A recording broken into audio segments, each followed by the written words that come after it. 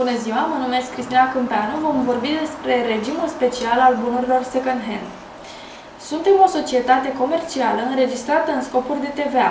Intenționăm să achiziționăm din Uniunea Europeană mobilier și decorațiuni, ambele second-hand, pentru, precum și antichități, atât pentru sediul nostru, cât și pentru revânzare. Care este regimul TVA ce trebuie aplicat la emiterea de facturi către clienții noștri, atât persoane fizice cât și juridice? Există vreo posibilitate să emitem factură fără TVA pentru a nu mări prețul de vânzare prea mult? Din informațiile furnizate, înțelegem că pe dumneavoastră vă interesează dacă puteți aplica regimul special de TVA pentru activitatea de comercializare bunuri second-hand, opere de artă, obiecte de colecție și antichități. Potrivit prevederilor acestui regim, valoarea TVA colectată se calculează la profitul obținut din vânzări și nu la valoarea livrării respective. Marja profitului este diferența dintre prețul de vânzare aplicat de persoana impozabilă, revânzătoare, și prețul de cumpărare în care. Prețul de vânzare constituie suma obținută de persoana impozabilă, revânzătoare, de la cumpărător sau de la un terț, inclusiv subvențiile direct legate de această tranzacție, impozitele, obligațiile de plată, taxele și alte cheltuieli, cum ar fi cele de comisioane, ambalare, transport și asigurare percepute de persoana impozabilă, revânzătoare cumpărătorului, cu excepția reducerilor, reducerilor de preț. Prețul de cumpărare reprezintă tot ce constituie suma obținută conform definiției prețului de vânzare de furnizor de la persoana impozabilă revânzătoare.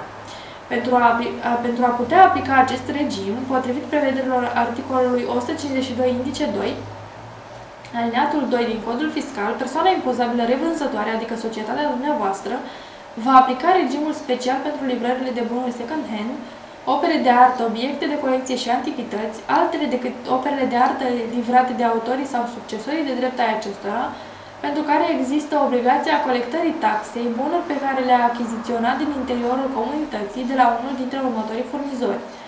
A. O persoană neimpozabilă. B. O persoană impozabilă în măsura în care livrarea efectuată de respectiva persoană impozabilă este scutită de TVA conform articolului 141 alineatul 2 litera G. C. O întreprindere mică în măsura în care achiziția respectivă se referă la bunuri de capital de o persoană impozabilă revânzătoare în măsura, în măsura în care livrarea de către aceasta a fost supusă taxei în regim special. Totodată, ă, potrivit prevederilor codului fiscal, puteți opta pentru aplicarea regimului special pentru livrarea următoarelor bunuri. A. Opere de artă, obiecte de colecție sau antichități pe care le-a importat. B.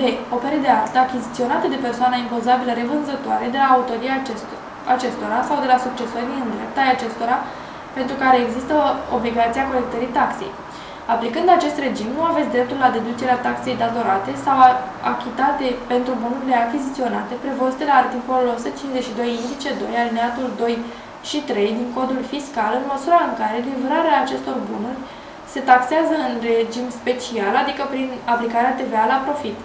Totodată, pe facturile de vânzare nu se înscrie taxa aferentă livrărilor de bunuri, supuse regimului special în mod distinct. În concluzie, puteți aplica regimul special de TVA calculând un preț de vânzare mai mic întrucât TVA-ul se va colecta doar la profit, dar doar în condiții prevăzute la articolul 152 indice 2 din codul fiscal.